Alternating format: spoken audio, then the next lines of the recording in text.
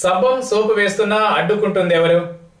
విశాఖ జిల్లా టీడీపీ రాజకీయాల్లో కీలకంగా వ్యవహరిస్తున్న మంత్రి గంటా శ్రీనివాసరావు దూరదృష్టితో ఆ పార్టీ చేరికలను అడ్డుకుంటున్నారని విమర్శలు వినిపిస్తున్నాయి. పార్టీలో చేరాలని పలువురు సీనియర్లు భావిస్తున్న మంత్రి గారు మాత్రం కోరి మరీ అడ్డుపుల్లలు వేస్తున్నారట. దీంతో చంద్రబాబు సైతం గంట మాట విని బ్రేకులు వేస్తున్నారని భోగట్ట అలా మంత్రి గారి వ్యూహాలకు చిత్తైన నేతగా ఇప్పుడు కళ్ళ ముందు సభంహారి హరి కనిపిస్తున్నారు. ఆయన ఎంతగా చంద్రబాబుకు భజన చేస్తున్నా గంటా మాత్రం దయ చూపించడం లేదని టాక్. కాంగ్రెస్ రాజకీయాల్లో పుట్టి ఎదిగిన మాజీ ఎంపీ హరికి ఇప్పుడు టీడీపీ సరైన పార్టీగా కనిపిస్తోంది.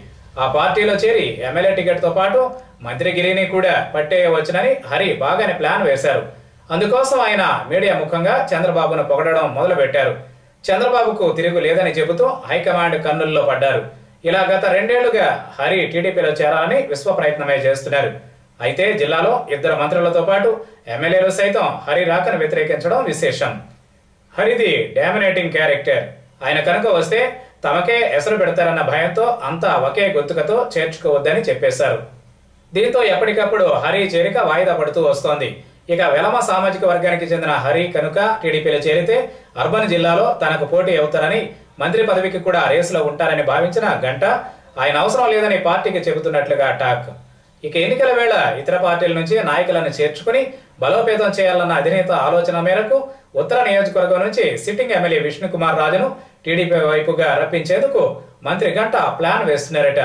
ఆయన కనుక వస్తే ఇక హరికి పూర్తిగా ద్వారాలు మూసుకుపోయినట్లేనని అంటున్నారు.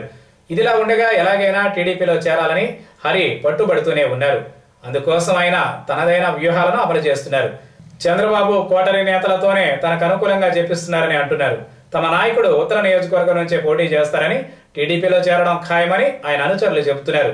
మొత్తానికి హరి మంత్రి మధ్యన సాగుతున్న ఈ ఎత్తులు పై ఎత్తుల వ్యవహారంలో చంద్రబాబు ఎటువైపు మొగ్గు చూపుతారో చూడాలి.